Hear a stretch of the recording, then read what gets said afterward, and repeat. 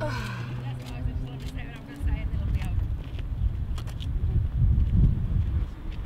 So we're out celebrating the 50th anniversary of Stonewall. Uh, the, the modern gay rights movement kicked off 50 years ago, and in order to celebrate that, we really wanted to come up with a beautiful surprise for our community. So Freedom Oklahoma, Q Space, and Councilman James Cooper are out here painting a mural to celebrate the vibrancy of our community for Pride Week here in Oklahoma City. That's exactly right. It ties it directly into Stonewall. Our theme for Pride this year is Legends and Rebels, and it's an opportunity to really celebrate all the work that's been done here in Oklahoma City to increase rights and awareness about LGBTQ issues. Uh, so much work has been done. These things don't happen by accident. People have to move our government, and they have done so much incredible work here in Oklahoma City to do exactly that. Things are better than they were 30 years ago when Pride first started, uh, but we have a lot of work left to do, and this year's celebration is a celebration of all the work we've done, but also a recognition that there's more left to do for equal rights for our community. When I first realized I was gay, don't ask, don't tell was the law of the land. Marriage equality was completely unimaginable. Uh, same-sex parents that were non-biological parents could not have equal access to their children, and we had that changed here in Oklahoma by the brave work of people like Charlene Ramey, who took their case all the way to the state Supreme Court and won, uh, by work on the national level with uh, the overturn of don't Ask, Don't Tell, and uh, bringing marriage equality all the way to the United States Supreme Court. These are huge gains for our community, uh, and we're so proud of them. But we know we still have so far to go when there's a ban on trans service members in the military, when there aren't federal protections for people like us uh, from being fired or denied a job for who they are. Uh, there aren't federal protections and public accommodations for the LGBTQ community. We have to pass the Equality Act. We know we have more to do. Well, it was important to do it today because, you know, when I ran for office, people told me that schools and uh, public transportation and homelessness and walkability were their top concerns.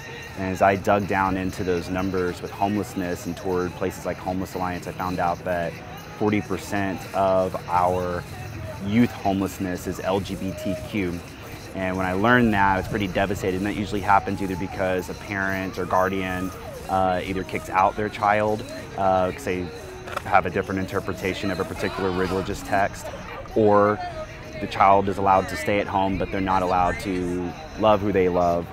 And so that's pretty, that puts our kids in danger uh, if they're LGBTQ, uh, especially if they're of color. We know that within 24 hours, they are approached by sex traffickers, by uh, drug dealers, and so they're truly in danger. And so whatever we can do, you know, to create a better environment for them for our youth, um, that's what we got to be doing.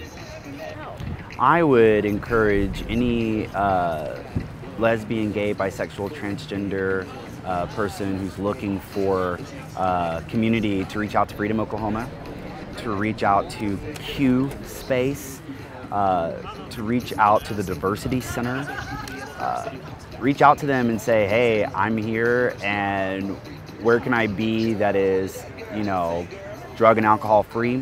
Where can I be where there are other people my age and uh, think and look like me? And I, I, think they'll be able to plug them into um, some healthier environments. So the other colors you have, um, for instance, the black and brown. You know, whenever Stonewall happened in 1969, there was this moment where gay and lesbians came together uh, trying to figure out, well, what does this look like now? It's a movement. What do we do going forward? Uh, how do we commemorate the three days of protest and riot that happened at Stonewall?